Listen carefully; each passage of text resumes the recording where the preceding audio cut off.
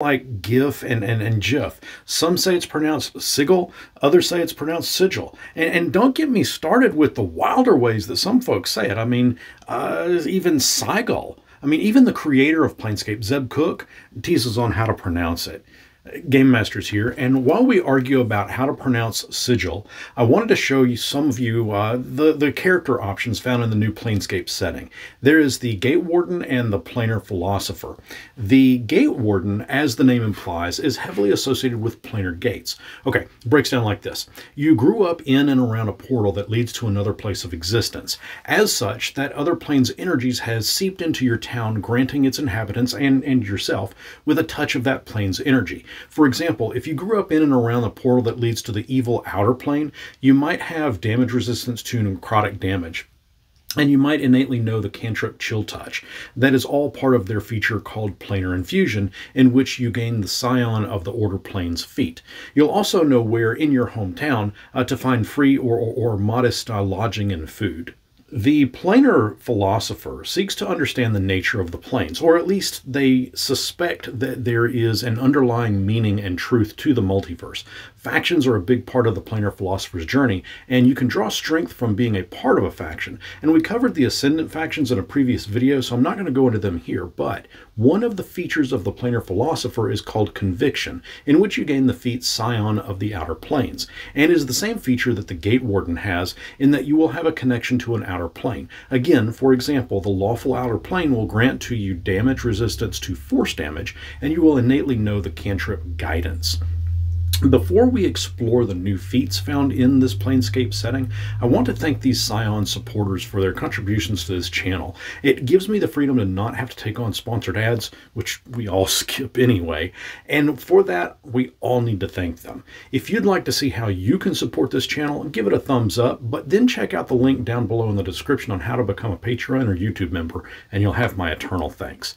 As for feats, each one will see an ability score of their choice increased up uh, by one up to a maximum of 20, except for the Planar Wanderer, but we'll get to that one in a moment.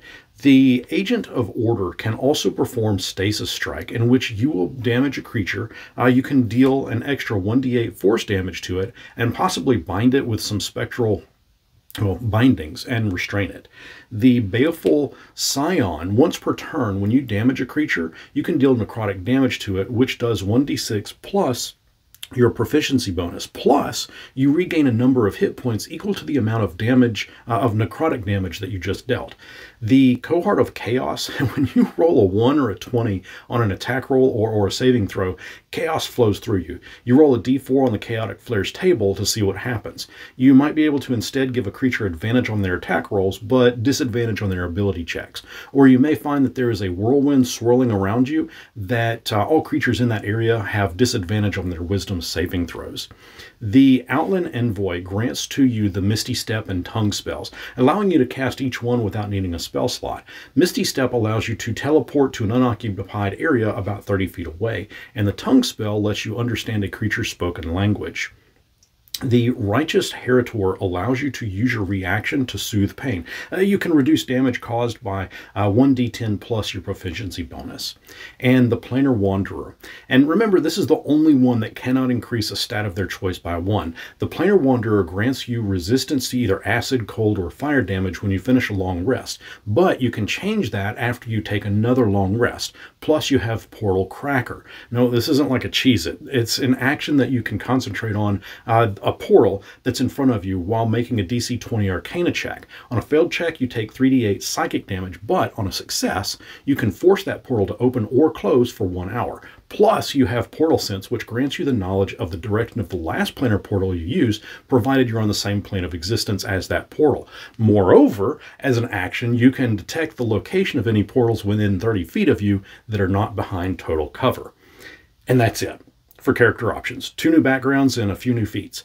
But I do want to offer this up, which may seem a bit out of context since we're not really talking about the adventure itself, uh, Turn of Fortune's Wheel. But everything that we've just covered is going to come in super handy should you choose to delve into that adventure. That's a little bit of a spoiler, but trust me. Earlier, I also mentioned that we previously did a video covering the Ascendant factions, and if you'd like to check that out, you can watch that video here. But also be sure to check out my Planescape playlist here. It's only going to grow as I add more videos. What is your favorite feat from, uh, from the ones in this new book? Let me know down in the comments, and until next our paths cross, may you not fall into the wrong portal.